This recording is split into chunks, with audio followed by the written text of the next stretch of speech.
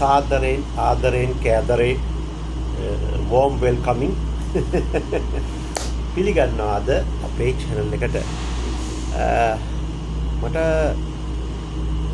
මේ විඩියෝක පටන් ගන්නකොට යම් කිසි දෙයක් මම කියන්න කල්පනා කරා. මොකක්ද ඒ කියලා ඔබට කියනවා නම් මේ ආගම්වාදය ආගම් පිළිබඳව ප්‍රශ්න කිරීම. ඇත්තටම ලෝකයේ තියෙන ඒක දේවවාදී ඇත මිත්‍යා දෘෂ්ටික ආගම් ඇත්තරම අපේ අපේ බුදු දහම ගත්තොත්.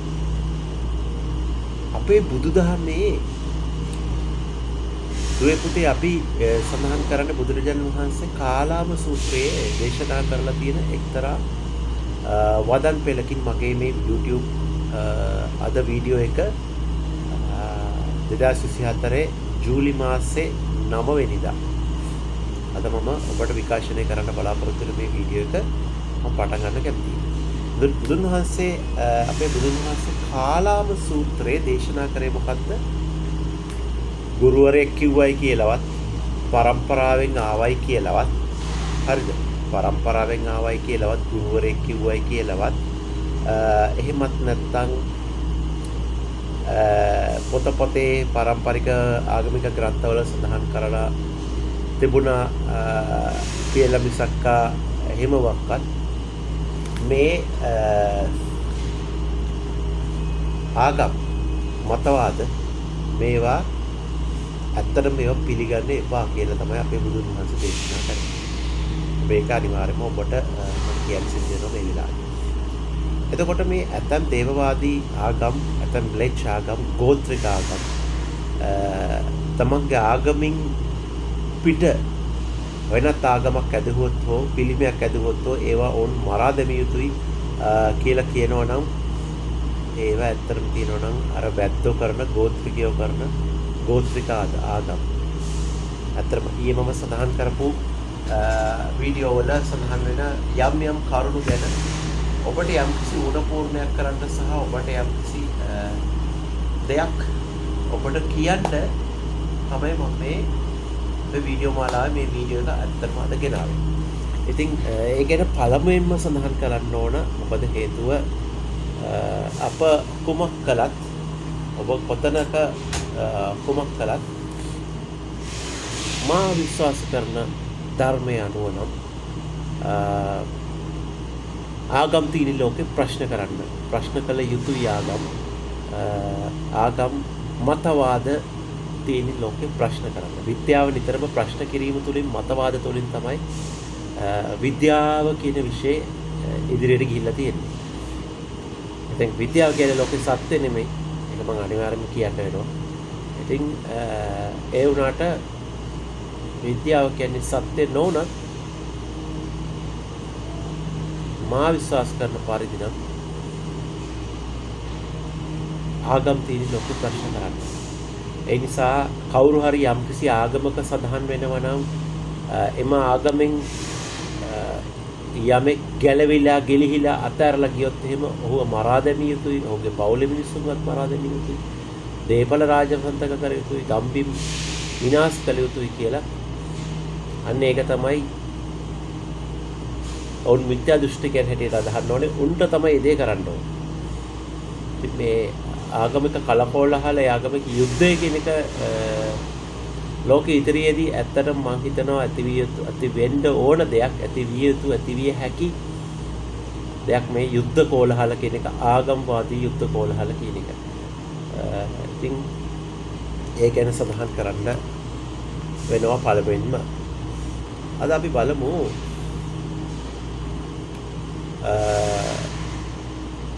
ඕටමන් අධිරාජ්‍ය නැගීම සහ වැටීම කියන එක.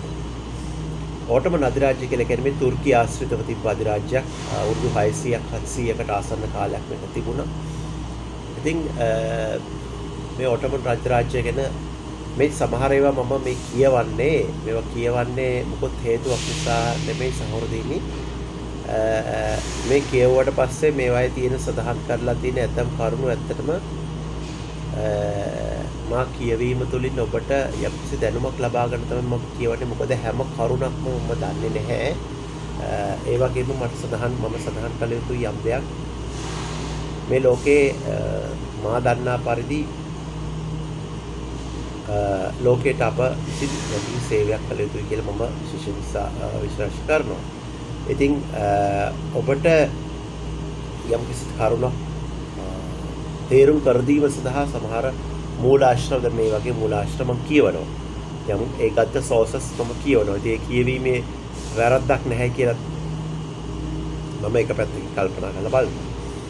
ඒ කෙසේ වෙතත් මොකද මේ YouTube channel එක මම කරන්නේ ගොඩක් අමාරුවෙන්.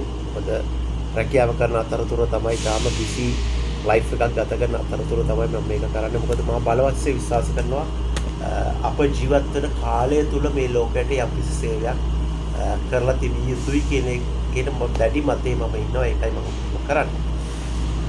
එතකොට අපි බලමු ඕටමන් අධිරාජ්‍ය නැගීම සහ වැටීම කියන එක. ඕටමන් අධිරාජ්‍ය ලෝකයේ දීර්ඝතම අධිරාජ්‍යයන්ගෙන් එකක් විය. එය ලොව දීර්ඝතම ඉස්ලාමීය බලය ලෙසද හැඳින්වේ ඒ දවස්වල. මේ වසර 600කට ආසන්න කාලයක් පැවතුණි. මෙහි බලය මැද පෙරදිග නැගෙනහිර යුරෝපය සහ උතුරු අප්‍රිකාවේ විශාල ප්‍රදේශ පාලනය කළේය. සුල්තාන් ලෙස හැඳින්වූ ප්‍රධාන නායකයාට කලාපොළ ජනතාව කෙරෙහි සම්පූර්ණ ඉස්ලාමී හා දේශපාලන අධිකාරී තිබුණි. අධිරාජ්‍ය බිඳවැටීම ආරම්භ වූයේ ලෙපෙන්ටෝ සටනින් පරාජය වීමෙන් පසුවය. එතකොට සෑම නැගීමකටම අරගල ඇති අතර සෑම වැටීමකටම එම සිදුවීම් වල ප්‍රතිවිපාක මගින් බොහෝ විට වසන් කරන හේතු ඇත. ඕටමන් අධිරාජ්‍ය සූරයා ඉතිහාසයේ ශ්‍රේෂ්ඨතම අධිරාජ්‍යන්ගෙන් එකක් සේ දිගු කලක් නැගේ බැබළුන. නමුත් වෙනත් ඕනෑම රාජවංශිකයක් මෙන්ම වැටීම වැටීම අඳුරු හා නිරන්තර විය. සාමාන්‍ය ලෝක ඕනම තැනක දෙයක් නේද? ඒකට මේ ඕටමන් රාජ්‍ය කියන එක ඇත්තටම අල්ලාගත්තේ කොන්ස්ටන්ටිනෝපලේ අල්ලා ගැනීමෙන් පසුව පුරුෂ යුද්ධය කියන එක ඇති වුණා 1715 කියන එකේදී. කොන්ස්ටන්ටිනෝපලය බයිසන්ටියන යටත් කර ගැනීමෙන් පස්සේ බයිසන්ටියන්වරු මරා දැමීමෙන් පසු තමයි මේ ජඩ හම්බයෝ මේ ලෝකය ආක්‍රමණය කරන්න පටන් ගත්තේ. ඒක අදටත් සිදු වෙමින් පවතිනවා. ඉතින් මේ ලෝකේ ඉන්දියාවට ඔබ දන්නවා මේ මුන් කරපු විනාශය. ඉන්දියාවට කරලා තියෙන විනාශය ඔබට මෙතකයි කියලා මේ ස්මෝල් ස්කේල් එකකින් අපිට ගණනය කරන්න බැරි තරමටම ඉන්දියාවේ තිබ්බ නාලන්දා විශ්වවිද්‍යාල වගේ ලෝකේ අපිට ගිලිහිලා කිය හොඳ හොඳ තැන් මේ ලෝකේ හොඳ දේවල් මේ ලෝකේ නැති වෙන්නේ මේ මොකද ආගමික අන්තවාදය නිසා තමයි. මේ අන්තවාදය කියන එක නිතරම එක්ස්ට්‍රීමිසම් කියන එක මම නිතරම විරෝධය පාන දෙයක් මම ඒකට ප්‍රහාර එල්ල කරන කෙනෙක් දිවිහිමියෙන් ඒකට ප්‍රතිරෝධව මා සකස් කරන කෙනෙක්. ඒ ගැන අනිවාර්යයෙන් මේකට මේක මේක කියන්නම වෙනවා. මොකද හේතුව අපි හරි දේ නිතරම නිවැරදි දේ නිතරම වෙනස් වෙනවයි කියන එක හිත නිතරම අපි කල්පනාකාරීව හිතාගෙන වැඩ කළ යුතුයි. වෙනවා. එතකොට මේ බයිසන්ටේල් වල පරාජය කිරීමෙන් පස්සේ තමයි මේ මේ නිතරම ආරක්ෂක තත්ත්වය ගැන හිතුවේ හිතුවේ නැති නිසා තමයි බයිසන්ටියන් වරු මේ බයිසන්ටියම සහ කොන්ස්ටන්ටිනෝපලය කියන නගර අල්ලගත්තේ මේ මුස්ලිම්වරු ලැබී. එතකොට 1989 දී තමයි ඔටමන් රාජ්‍ය ආරම්භ කරන ලදී. සහ ඇනටෝලියාවේ තුර්කී ගෝත්‍රිකයන්ගෙන් වර්ධනයක් වුණාලු 1413 වන සතවර්ෂයේ. ඊට පස්සේ ඕටමන්වරු 15 වන සහ 16 වන සතවර්ෂ වලදී සාධාරණ ඵලයක් මුක්ති විඳ අතර වයස වසර 600කට වැඩි කාලයක් පාලනය කළහ. ඒ පාලන අධිරාජ්‍යයන්ගේ ඉතිහාසයේ දීර්ඝතම රාජවංශය ලෙස සැලකේ. ඕටමන් වරුන්ගේ ඵලය සාමාන්‍යයෙන් ඉස්ලාමයේ ඵලය ලෙස සැලකේ. එතකොට එය බටහිර යුරෝපයේ විසින් තර්ජනයක් ලෙස සැලකනු ලැබිය. අදටත් එහෙමයි. එතකොට ඕටමන් අධිරාජ්‍ය පාලනයේ කලාපීය ස්ථාවරත්වය සහ ආරක්ෂාව සහ දියුණුවේ යුගයේ ලෙස සැලකේ. මෙම රාජවංශයේ සාර්ථක සාර්ථකත්වයට හේතු වී ඇත්තේ ඔවුන්ගේ වෙනස් වන තත්ත්වයන්ට අනුවර්තනය වීමත් සමස්තයක් ලෙස සංස්කෘතික සමාජීය ආගමික හා තාක්ෂණික දියුණුවට මඟ පෑදීමත් තියෙනවා. ඕටමන් අධිරාජ්‍ය ඉතිහාසයේ ඕටමන් අධිරාජ්‍යයේ වර්තමාන යුරෝපයේ විවිධ ප්‍රදේශවල ඇතුළත් ඇතුළත් කිරීමට වර්ධනය විය. එය තුර්කිය, ඊජිප්තුව, සිරියාව, රුමේනියාව, මැසිඩෝනියා, හංගේරියාව, ඊශ්‍රායලය, ජෝර්ඩානය, ලෙබනනය, අරාබිය අර්ධද්වීපය, සෞදි අරාබිය කොටස් වලට උතුරු අප්‍රිකාවේ සමහර ප්‍රදේශවල උත්තම අවස්ථාවේදී අවස්ථාවේ හිදී ගියේය. අධරාජ්‍ය මුළු ගුණ ප්‍රමාණය වර්ග සතකුම් මිලියන 1600 පමණ විය. ඒ කඩා වැටෙමින් තිබිය දෙහි කොටසක් වර්තමාන තුර්කිය බවට පත් විය. ඔටමන් අධිරාජ්‍ය ඔටමන් රාජ්‍යයේ ආරම්භය ඔටමන් රාජධානියේ සෙජුලිත් තුර්කි අධිරාජ්‍යයෙන් විදුණු නූලක් ලෙස පෙනී ගියේ. මෝගල් ආක්‍රමණ වලින් ආක්‍රමණයෙන් ප්‍රයෝජන ගත් 13 වෙනි සියවසේ ඔස්මාන් තුන්වෙනි ඔස්මාන් එක යටතේ තුර්කි රණශූරයන් විසින් සෙල්සස් අධරාජ්‍ය වටනු ලැබිය.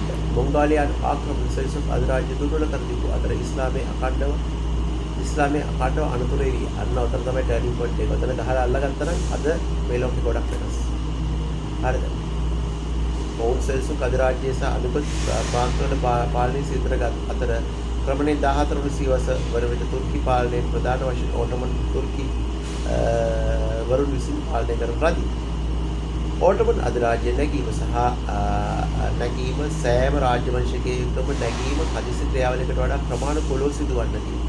එතකොට තුර්කි අධිරාජ්‍ය එහි මධ්‍යගත ව්‍යුහය යහපාලනය දිනෙන් දින ව්‍යාප්ත වන භූමි ප්‍රදේශය මාර්ග වෙළඳ මාර්ග පාලනය කිරීම සහ සංවිධානාත්මක නිර්පීති යුද ශක්ති සහ ඔස්මාන් එක ඔහ්රාන් උරාඩි සහ බසිදී කැපී වෙන නායකත්වයකට හිංසාත්මකත්වයකට නැගෙයි.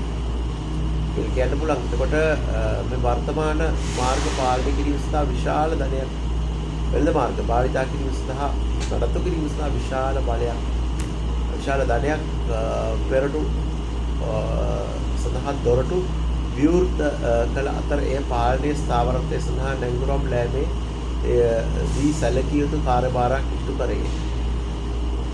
විශාල ව්‍යාප්තික කාලයක වඩාත් පැහැදිලිව බයිසන්ටියානු අධිරාජ්‍ය අගනුවර කොන්ස්තන්තිනෝපලය යටත් කර ගැනීමක් තමයි පත්වී. ඕක තමයි ඉතිහාසයේ ටර්නින් පොයින්ට්ස් දෙකක් තියෙනවා. මේ ටර්නින් පොයින්ට්ස් දෙක තමයි එකක් බයිසන්ටියම යටත් කර ගැනීම වුන්. අනිත් ටර්නින් පොයින්ට් එක තමයි මොගල් රාජ්‍ය විසින් මොගල් අධිරාජ්‍යවාදී මොගල් මුස්ලිම් ආක්‍රමණ හම්බයෝ විසින් ඉන්දියාව යටත් කර ಭಾರತ දේශය. එහෙම කරගත්තේ නැත්නම් අද මේ ලෝකෙ සෑහෙන වෙනස් වෙනවා. එන යුද යුද්ධය කියන එක මේ ලෝකෙ නැති වෙන්නත් ඉඩ තිබුණා සමහරවිට. ගොඩක් අඩු වෙන්නේ. එතකොට කොන්ස්ටන්තිනෝපලේ යටත් කර ගැනීමට ඕටමන් අධිරාජ්‍යයේ උච්චතම ස්ථානයට පැමිණියේ. පරාජය කළ නොහැකි යයි සැලකූ කොන්ස්ටන්තිනෝපලේ දන ගැසුවේ ඔස්මන් පරම්පරාව විසින්. මෙම ජයග්‍රහණය යුරෝපයේ සහ මැද පෙරදිග විවිධ ප්‍රාන්ත 10කට අධික ප්‍රමාණයක් ඇතුළු අධිරාජ්‍ය තවදුරටත් ව්‍යාප්ත කිරීමේ පදනම බවට පත් වී. ඕටමන් අධිරාජ්‍ය ඉතිහාසයේ පිළිබඳ ඉතිහාසයේ පිළිබඳ සාහිත්‍යයේ මහා යුගය මහා ව්‍යාප්තියක් කාල පරිච්ඡේදය ව්‍යාප්තියේ කාල පරිච්ඡේදයක් ලෙස සැලකිය හැකියි. බොහෝ ඉතිහාසඥයින් මෙම ව්‍යාප්තිය ආරෝපණය කරන්නේ වාඩිලාගෙන සිටින රාජ්‍යයන්ගේ අසංවිධාත්මක අසංවිධානාත්මක හීන වූ රාජ්‍යයක් රාජ්‍යයක් සහ ඕටමන් වරුන්ගේ දියුණු හා සංවිධානයක හමුදා ශක්තියක් ලෙස ඊජිප්තුවේ සහ සිරියාවේ මාම්ලුක්වරුන්ගේ පරාජයත් සමගම මෙම ව්‍යාප්තිය දිගටම සිටියේ. ඇල්ජියස්, හංගේරියාව, ග්‍රීසිය සමහර ප්‍රදේශ පාලසන් සිල්වාසේ ඕටමන් තුර්කින්ගේ කුඩේ යටතට පත් වූ. රාජවංශිකයා රාජ රාජවංශිකයක් පොදු උත්තරීතර පාලකයා හෝ සුල්තාන්වරයාගේ තන්ත්‍ර පමණ පරම්පරාගත අතර අනෙක් සියල්ලෝ තොට පවා තන්තුරු උපයා ගැනීමට සිදු වූ බව ඔටමන් අධිරාජ්‍ය ඉතිහාසයේ කොටස් වලින් පැහැදිලි වේ. එක්දස් පන්සිය දස් පන්සේ විස්සේ තමයි සුලේමාන් අතර පත්වනේ ඕටම රාජ්‍ය ඔහුගේ පාලන සමයේදී ඕටමන් අධිරාජ්‍ය වැඩි බලයක් ලබාගත් අතර දැඩි අධිකරණ පද්ධතියක් පිළිනුල් ලැබී මෙම ශිෂ්ඨාචාරයේ සංස්කෘතික වර්ධනය සංස්කෘතිය වර්ධනයකට පටන් ගත්තේ මහා පුළුල් මේ මහා පුළුල් කිරීම ඕටමන් අධිරාජ්‍ය පරිහානිය වන සුල්තාන් සුල්තාන් සුලේමාන්ගේ මරණය ඕටමන් රාජවංශය පරිහාරයට තුටුතු යුගයක ආරම්භය සද සනටුමට කරේ. පරිහාරණය තීරණාත්මකට තීරණාත්මක හේතුව පරිහාර පිට පිට මිලිටරි තර්ජන තර්ජනයක් විය. වඩාත්ම ප්‍රමුඛ වන්නේ ලෙපෙන්ටෝ සක්නේ පරාජය. රූසෝ තුර්කි යුද්ධ හමුදා ශක්තිය පෙරහීමට තුඩු දෙයි. යුද්ධ වලින් පසු අධිරාජ්‍යයට කිවිසුම් කීපයක් අත්සන් කිරීම සිදු අතර අධිරාජ්‍යයට එහි ආර්ථික ස්වාධීනත්වය බොහෝ දුරට අහිමි විය.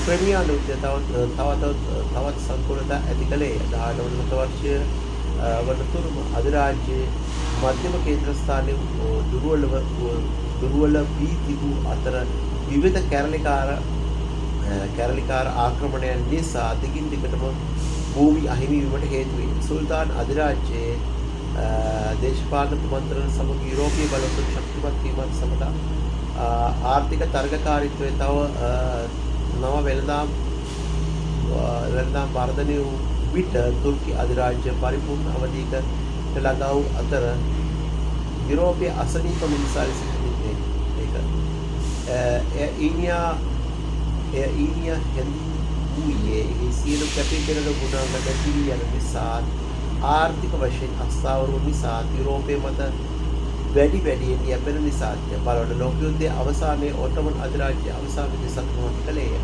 තුර්කි ජාතිකවාදියා සෙව්බ්‍රෙස් යුසුම අත්සන් කරමින් සුල්තාන් පාලනය හොස් කළේ. අවසන් වචනය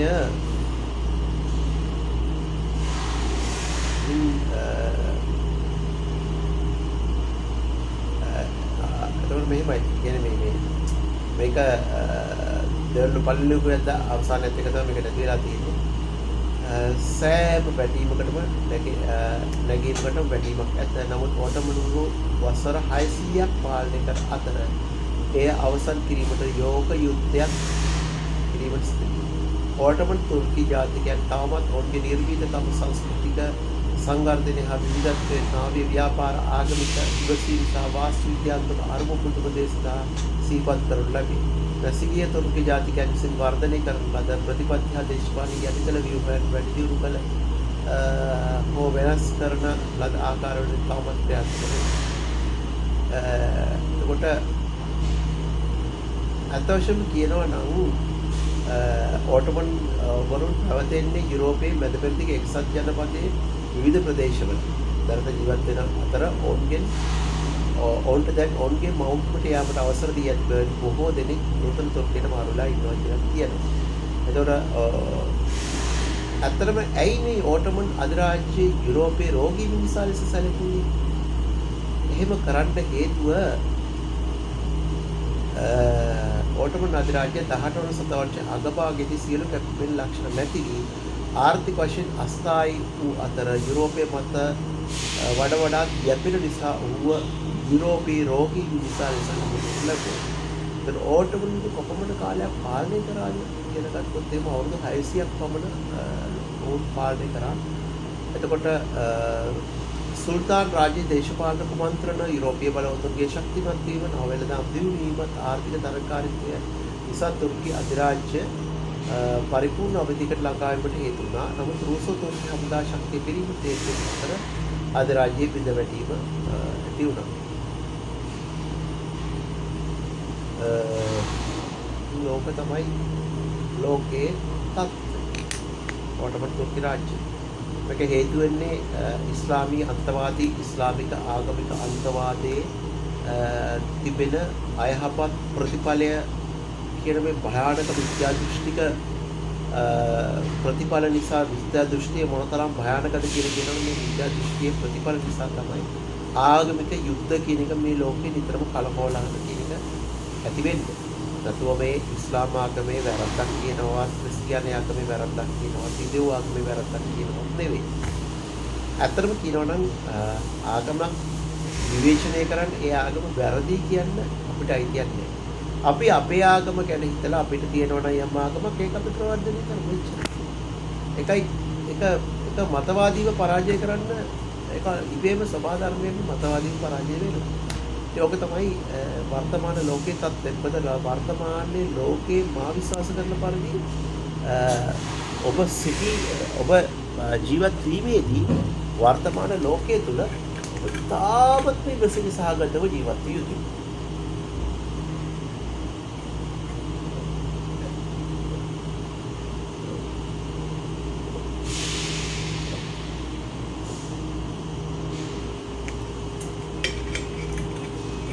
ඇයි මං එහෙම කියන්නේ? අපි ඉවසිලි සහගතව ජීවත් වෙන තරමටම මේ ලෝකේ අපිට ජීවත් වෙන්න ලේසි. අපට ජීවත් වෙන්න ලේසි. ඒක තමයි මේ ලෝකේ හරය කියලා මා මා විශ්වාස කරන්නේ. මේ ලෝකේ හරය ජීවත් වීමේ ප්‍රතිඵල ජීවත් වීම අප ජීවත් වන්නේ කුමටද? හැමදාම ජීවත් වෙනවනේ. අප මේ ලෝක පහළ වුණේ කුමටද? ජීවත් වෙන්නේ කුමටද? ජීවිතයේ සැබෑ අරමුණ මොකක්ද? කියන එක තමයි මෙතනදී මා විසින් මා නම් සිතන පරිදි මේක තේරුම් ගන්න නිකන් ෆැබ්‍රිකේට් කරපු අමාරු දෙයක් විදිහට ඔබට හිතෙන්නත් පුළුවන්.